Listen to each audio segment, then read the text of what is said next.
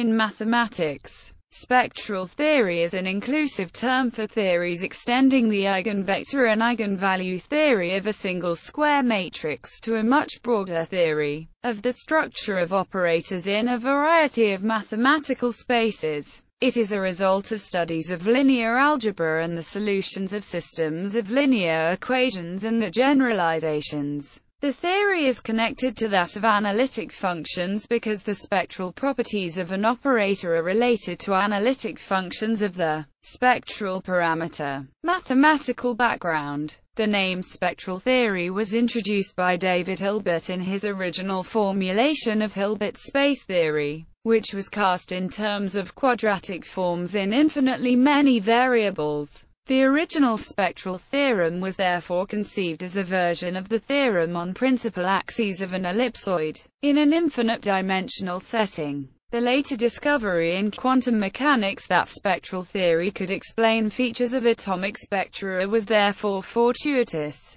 Hilbert himself was surprised by the unexpected application of this theory noting that I developed my theory of infinitely many variables from purely mathematical interests, and even called it spectral analysis without any presentiment that it would later find application to the actual spectrum of physics. There have been three main ways to formulate spectral theory, all of which retain their usefulness. After Hilbert's initial formulation, the later development of abstract Hilbert space and the spectral theory of a single normal operator on it did very much go in parallel with the requirements of physics, particularly in the hands of von Neumann. The further theory built on this to include Banach algebras, which can be given abstractly. This development leads to the Gelfand representation, which covers the commutative case, and further into non-commutative harmonic analysis.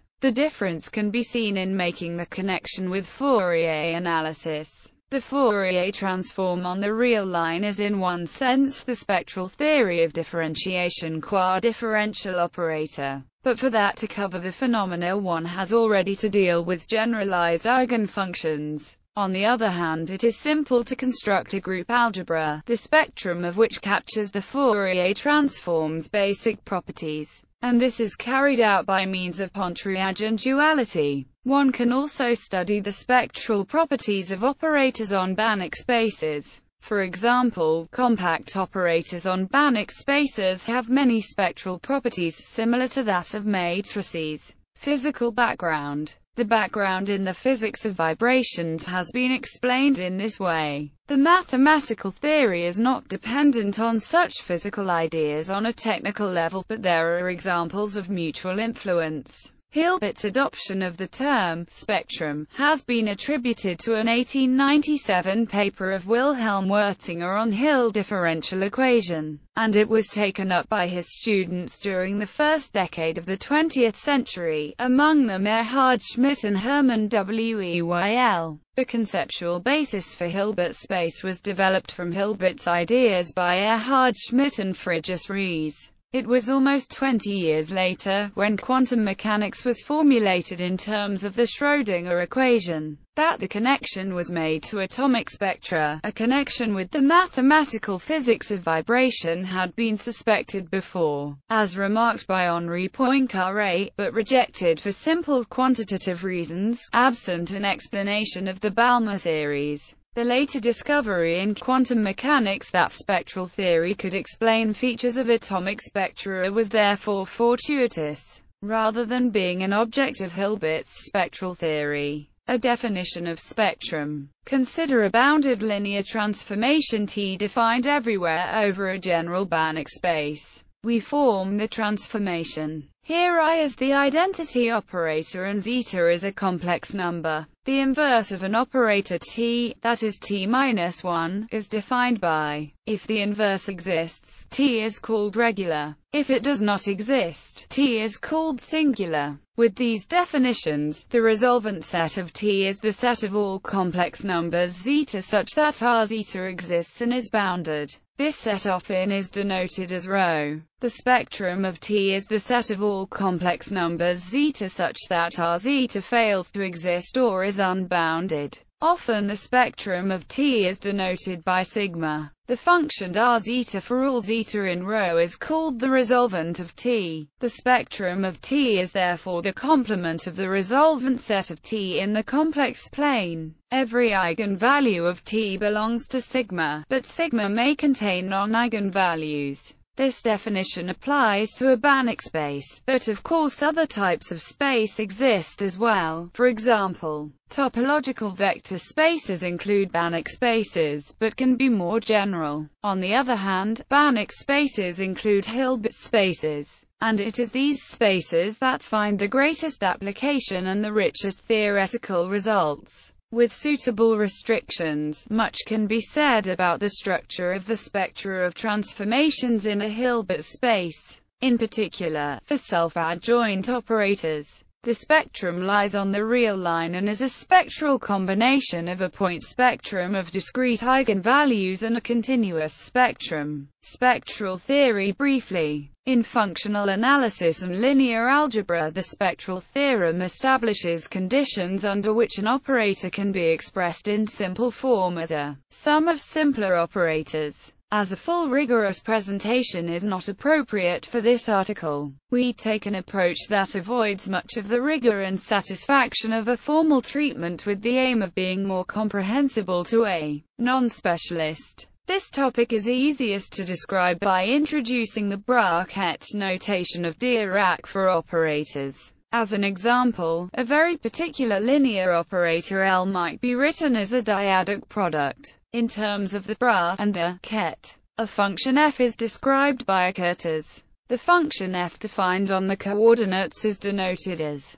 and the magnitude of f by, where the notation asterisk denotes a complex conjugate. This inner product choice defines a very specific inner product space, restricting the generality of the arguments that follow. The effect of L upon a function f is then described as expressing the result that the effect of L on F is to produce a new function multiplied by the inner product represented by a more general linear operator L might be expressed as where the scalars and the are basis and the a reciprocal basis for the space. The relation between the basis and the reciprocal basis is described, in part, by, if such a formalism applies, the Ho eigenvalues of L and the functions are eigenfunctions of L. The eigenvalues are in the spectrum of L. Some natural questions are, under what circumstances does this formalism work, and for what operators L are expansions in series of other operators like this possible? Can any function f be expressed in terms of the eigenfunctions and under what circumstances does a point spectrum or a continuous spectrum arise? How do the formalisms for infinite-dimensional spaces and finite-dimensional spaces differ, or do they differ? Can these ideas be extended to a broader class of spaces? Answering such questions is the realm of spectral theory and requires considerable background in functional analysis and matrix algebra. Resolution of the identity this section continues in the rough and ready manner of the above section using the bracket notation, and glossing over the many important details of a rigorous treatment. A rigorous mathematical treatment may be found in various references. In particular, the dimension n of the space will be finite. Using the bracket notation of the above section, the identity operator may be written as where it is supposed as above that, are a basis and the, a reciprocal basis for the space satisfying the relation. This expression of the identity operation is called a representation or a resolution of the identity. This formal representation satisfies the basic property of the identity, valid for every positive integer k. Applying the resolution of the identity to any function in the space, one obtains which is the generalized Fourier expansion of psi in terms of the basis functions a. Here, given some operator equation of the form, with h in the space, this equation can be solved in the above basis through the formal manipulations. Which converts the operator equation to a matrix equation determining the unknown coefficients Cj in terms of the generalized Fourier coefficients of H and the matrix elements of the operator O. The role of spectral theory arises in establishing the nature and existence of the basis and the reciprocal basis. In particular, the basis might consist of the eigenfunctions of some linear operator L, with the lambda i, the eigenvalues of L from the spectrum of L. Then the resolution of the identity above provides the dyad expansion of L. Resolvent operator. Using spectral theory, the resolvent operator R can be evaluated in terms of the eigenfunctions and eigenvalues of L, and the Green's function corresponding to L can be found. Applying R to some arbitrary function in the space, say, this function has poles in the complex lambda plane at each eigenvalue of L. Thus, using the calculus of residues, where the line integral is over a contour C that includes all the eigenvalues of L. Suppose our functions are defined over some coordinates xj, that is, introducing the notation where delta equals delta is the Dirac delta function, we can write then, the function g defined by, is called the Green's function for operator L, and satisfies operator equations. Consider the operator equation. In terms of coordinates, a particular case is lambda equals 0. The Green's function of the previous section is, and satisfies, using this Green's function property. Then, multiplying both sides of this equation by h and integrating, which suggests the solution is that is, the function psi satisfying the operator equation is found if we can find the spectrum of O, and construct G, for example by using. There are many other ways to find G, of course. See the articles on Green's functions and on Fredholm integral equations. It must be kept in mind that the above mathematics is purely formal, and a rigorous treatment involves some pretty sophisticated mathematics including a good background knowledge of functional analysis, Hilbert spaces, distributions and so forth. Consult these articles and the references for more detail. Spectral theorem and Rayleigh quotient. Optimization problems may be the most useful examples about the combinatorial significance of the eigenvalues and eigenvectors in symmetric matrices, especially for the Rayleigh quotient with respect to a matrix M